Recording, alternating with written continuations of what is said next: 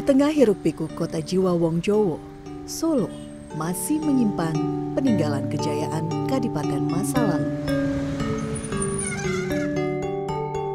Di tengah kehidupan metropolis kota Solo, kisah sang adipati, tradisi serta budaya Jawa mengalir di dalam sebuah lembaga adat bernama Mangkunegaran.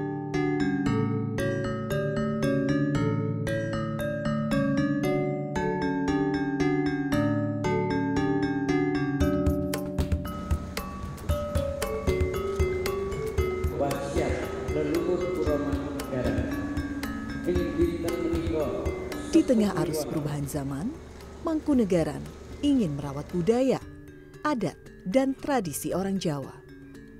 Tak ingin dimakan abad, para adipati Mangkunegaran menatap perubahan zaman dengan melestarikan adat istiadat. Ada dasar tridharma, tiga.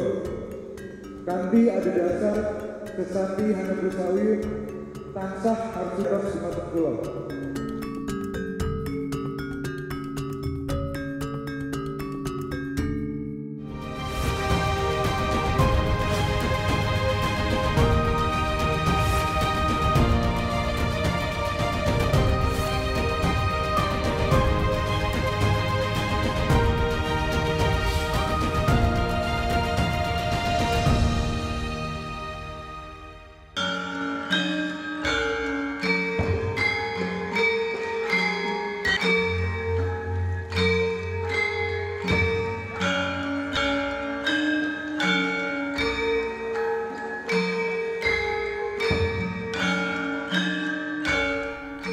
Jumenengan pemimpin Mangkunegaran masih menjadi perhatian masyarakat Jawa. Penobatan menjadi tradisi Mangkunegaran yang ada sejak ratusan tahun silam.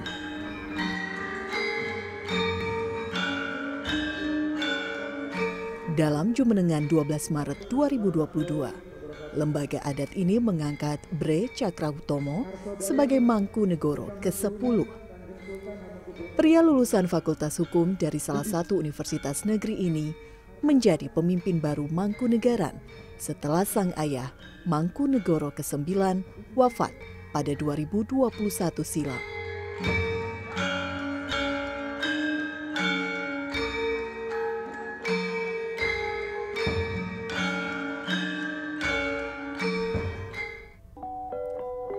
Mangkunegaran adalah sebuah pecahan kerajaan Mataram Islam, kesultanan yang pernah menguasai hampir seluruh tanah Jawa.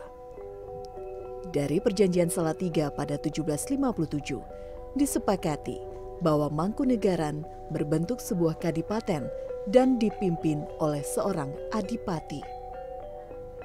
Dari perjanjian ini pula terbentuk Yogyakarta sebagai kasultanan serta Surakarta sebagai kasunanan.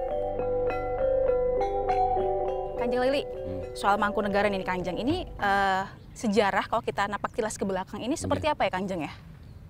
Jadi berdirinya dinasti Mangkunegaran ini atau kerajaan hmm. Mangkunegaran ini adalah uh, yang mendirikan itu Raden Masaid atau Pangeran Sabernyawa.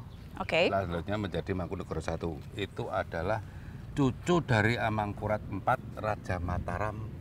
Amangkurat IV, cucu Amangkurat Amangkurat IV. Dari putra tertua. Jadi dari lahir dari Pangeran Mangkunegoro Kartosuro. Okay. Karena keratonnya masih di Kartosuro. Oke. Okay. Ya.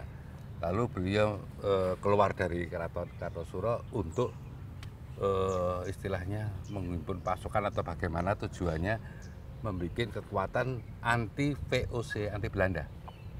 Lalu terjadilah eh, pertempuran panjang hingga terjadinya perjanjian Salatiga. Perjanjian Salatiga. Nah, itu antara Pakubuwono ketiga. Oke. Okay. Itu adalah masih eh, sepupuan. Sepupu. Ya. Terjadi perjanjian itu berdirilah Kadipaten Mangkunegaran. Tadi kita sempat menyinggung saat uh, terbentuknya Mangkunegaran hmm. ini lewat perjanjian Salatiga begitu ya, ya Anjeng ya. Ini uh, saat perjanjian Salatiga ini apa sebenarnya yang dibahas oleh uh, Mangkunegoro pertama sehingga bisa membentuk Mangkunegaran itu sendiri? Uh, antara Raden Mas Said ya, ya, antara Raden Mas Said Samberjowo dengan Pakubono III. Hmm. Itu karena para tua-tua dulu ya. Di sini saya menyebutkan ada keterlibatan seorang tokoh patihnya eh, Pakubono sebetulnya Pakubono Patih Sindurejo itu menyarankan kalian ini monggo penjenengan-penjenengan ini sudah sepuh antar saudara kok eh, apa antar saudara kok perang terus Hmm. yang jadi korban juga rakyatmu Hmm. akhirnya pertemuan di desa Salatiga Iya. Itu antara Sambernyowo dan Pakubono III Hmm. itu mengadakan perjanjian bahwa saya tidak kepingin memerangi kamu saya pengen wilayah saya sudah saya kuasai Hmm. dan kalau kamu ada serangan dari Belanda takut saya biar berani membackup istilahnya Hmm. gitu Hmm.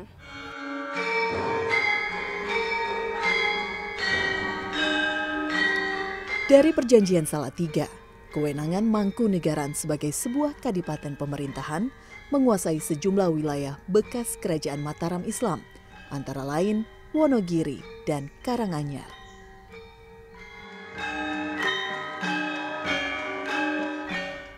Dalam perjalanannya, masa kejayaan Mangkunegaran terjadi saat kepemimpinan Mangkunegoro keempat. Di era ini berdiri sejumlah pabrik dan perusahaan pada bidang agraria di wilayah Mangkunegaran. Di era ini pula, ragam tari-tarian Jawa mulai dikembangkan Puro Mangkunegaran.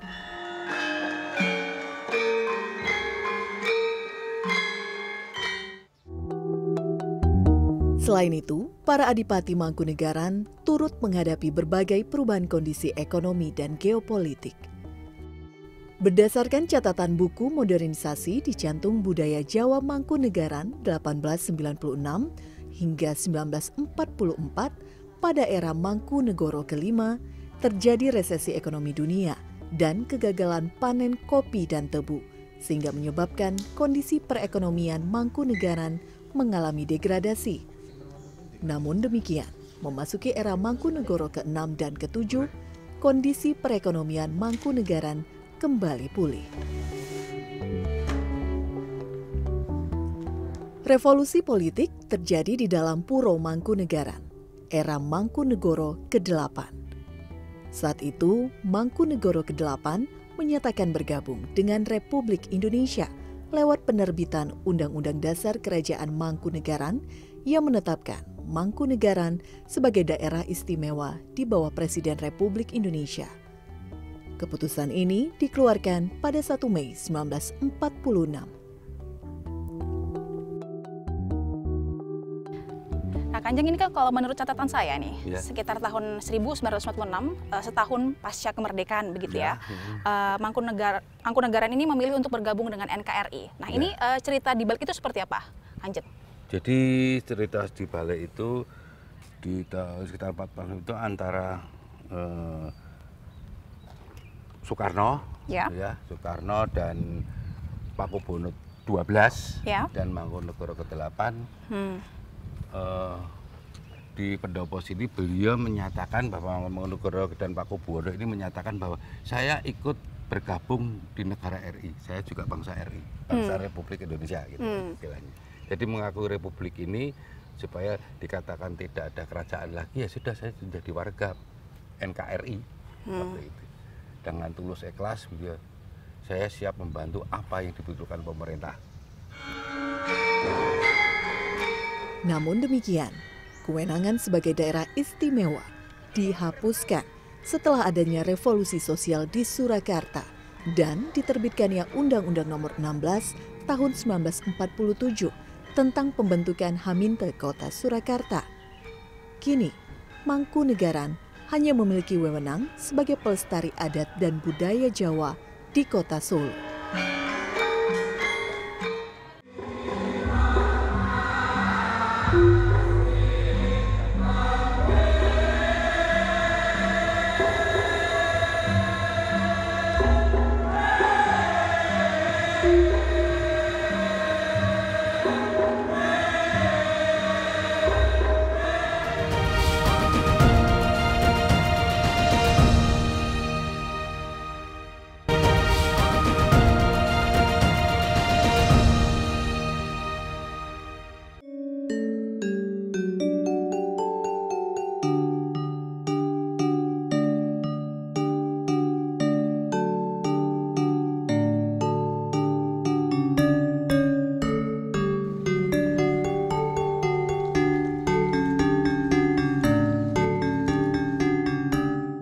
Sebagai pecahan dari Mataram Islam, terdapat sejumlah aturan yang wajib dipegang Mangkunegaran dari Kerajaan Matawis.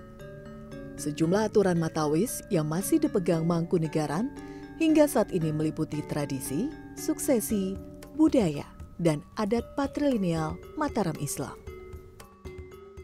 Uh, syarat untuk menjadi seorang KGPAA Mangkunegoro ini apa saja yang perlu dipenuhi? Jadi ini kan penerus tahta dari Mataram. Hmm. Berarti eh, tradisi Mataram ini yang harus kita ikuti satu laki-laki, laki-laki yang bagaimana? Hmm. Laki-laki hmm. pertama itu laki-laki anak dari permaisuri atau laki-laki eh, laki-laki dari yang lahir tertua. Lahir tertua. Ya itu syarat utamanya. Dan karena Mataram Islam ya Islam gitu ya. Itu aja.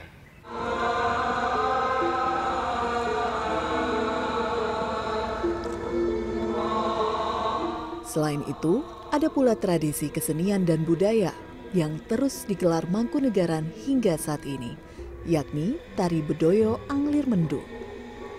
Tari ini adalah sebuah tarian persembahan yang dipentaskan saat momen-momen penting bagi pemimpin Mangkunegaran.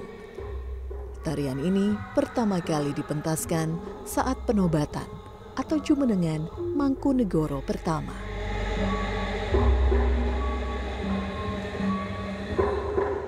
Tari Bedoyo Anglir Mendung ini saya hmm. mendapatkan informasi informasinya. Nah, Tari Bedoyo Anglir Mendung ini ada tari seperti apa ya Kanjeng ya? Ini sebetulnya tari di mana diciptakan itu e, menggambarkan strategi tempur. Strategi tempur? Iya, strategi tempur zaman e, Raden Mas Said hmm. ber, e, berkelana ya untuk untuk mengembalikan e, apa e, tahta ini tidak di bawah ini, tidak di hmm. bawah hmm. orang asing gitu ya, hmm. gitu tadi. Jadi jadi penggambaran tarik, penggambaran uh, strategi tempur. Hmm. Makanya ada yang paling depan itu komandannya siapa di sini dituliskan sebagai seorang Batak. Batak, Batak, itu paling depan. Hmm.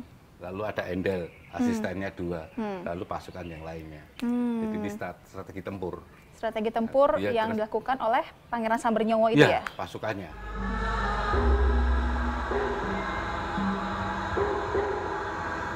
Tari Bedoyo Anglir Mendung mengisahkan pertempuran Pangeran Sambernyowo melawan pasukan Belanda di desa Kasatrian, Ponorogo, Jawa Timur tahun 1752. Berdasarkan catatan babat lelampahan, pertempuran ini berakhir dengan kemenangan Pangeran Sambernyowo.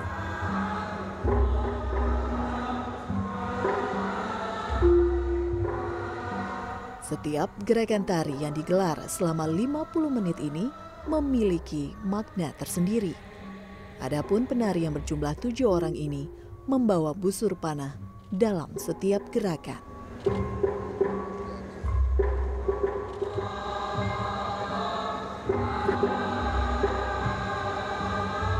Tarian ini sempat menghilang selama satu setengah abad lalu direkonstruksi kembali di era Mangkunegoro ke-7.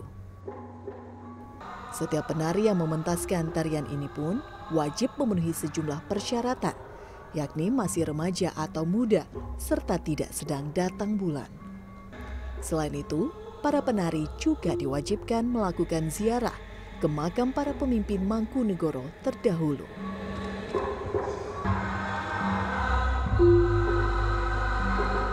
Untuk awalnya kan kita sering latihan di sini Senin satu Sabtu itu. Nah itu kita dipilih satu persatu oleh guru sini sama yang Tarwo itu. Uh, guru sini itu sebagai pelatih di sini, pelatih angler mendungnya itu. Terus udah kepilih orangnya ini, udah kepilih orangnya, kita latihan rutin. Setelah itu kita sempat juga ke makam dari Mangkunegoro 1 sampai 9. Adapun alat musik yang digunakan saat pementasan tari bedoyo anglir mendung berupa tiga jenis gamelan, yakni Kiai Kayut Mesem, Kiai Udan Asih, Kiai Udan Arum, serta Kiai Monggang. Konon, alat musik ini sudah berumur ratusan tahun. Selain dipentaskan saat penobatan pemimpin Mangkunegaran, tari bedoyo Anglir Mendung juga pernah dipentaskan saat upacara Kol Agung atau peringatan wafat 24 Windu Pangeran Sambernyowo dan peringatan ulang tahun ke-64 Mangkunegoro ke-8. Satu aja, siapa? Mungkin ada Mangkunegoro dari pertama sampai ke sembilan ini. Satu saja. Sulit sih, Mbak, sulit, sulit. Satu aja nggak ada. Ya, bukan nggak ada, tapi justru semuanya. Oke, Iya.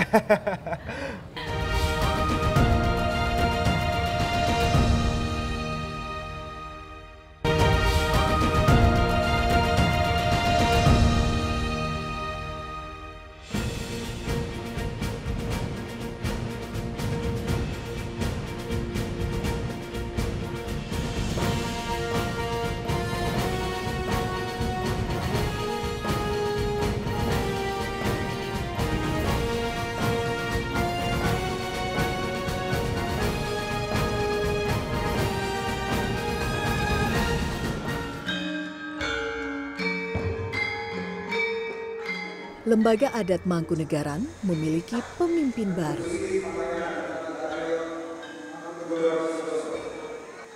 Sejak 1947 atau sejak diterbitkannya Undang-Undang Nomor 16 Tahun 1947 tentang pembentukan Haminte Kota Surakarta, Mangkunegaran telah beralih fungsi sebagai sebuah lembaga adat.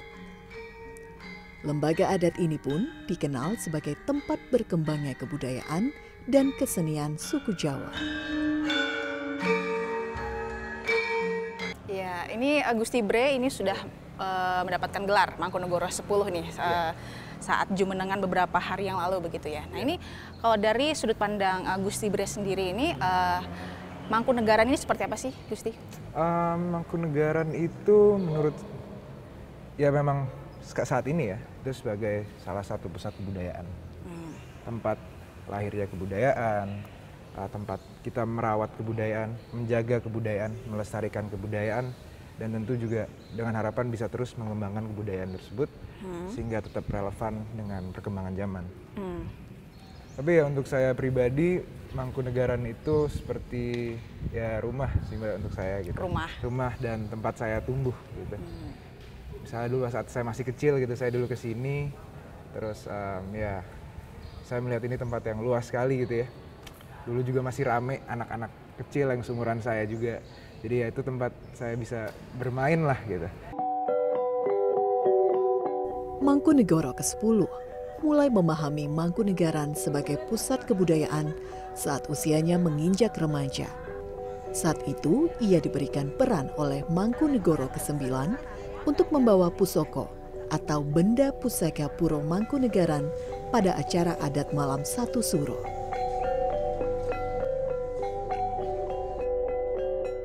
Untuk memimpin lembaga adat ini, Mangkunegoro ke-10 pun mengambil contoh dari kesuksesan leluhurnya terdahulu. Tujuannya agar fungsi adat dan pelestari budaya Jawa Puro Mangkunegaran tetap terjaga.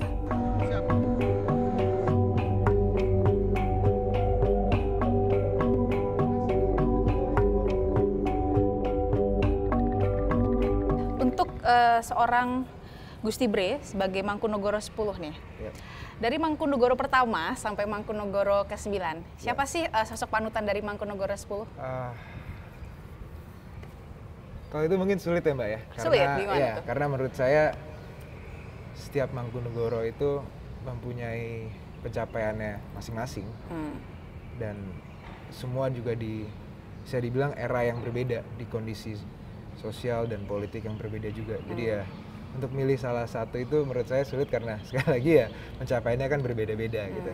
Tapi yang justru saya melihatnya dengan pencapaian yang beragam ini yang luar biasa juga. Hmm. Itu justru untuk di era yang sekarang ini menjadi modal yang penting, modal yang hmm. yang besar sebenarnya untuk menjadi acuan motivasi dan fondasi juga sebenarnya bagi kita untuk bisa untuk bisa meraih pencapaian dan kejayaan yang lebih besar lagi di masa yang sekarang gitu. Tentu dengan yang relevan dengan kondisi sekarang juga, Mbak. Satu aja, siapa? Iya. Mungkin ada Mangkunegoro dari pertama sampai ke sembilan ini. Satu saja. Sulit sih, Mbak, sulit sulit. Satu aja nggak ada. Ya, bukan nggak ada, tapi justru semuanya. Oke, Iya. Oke. Iya. Nah ini kan eh, kalau Gusti Bre sendiri kan eh, baru dinobatkan bulan Maret ini begitu ya kan? Kalau dari waktu saat eh, Kanjeng Gusti Mangkunegoro 9 ini kan sekitar pertengahan tahun lalu gitu. Kenapa sih ada lamanya eh, da- jarak antara saat eh, Gusti Mangkunegoro ke-9 ini mangkat sampai penobatan Gusti Bre sendiri? Gimana, Pak? maksud- Maksudnya? Kenapa lama? Penobatan dari Oh, iya, jangan. Dengan pemimpin lembaga adat berlatar belakang dari generasi milenial, Puro Mangkunegaran ingin budaya dan kesenian Jawa tetap relevan untuk dibawa ke era modern seperti saat ini. Nah, ini kan eh, Mangkunegoro 10 ini adalah seorang milenial begitu ya.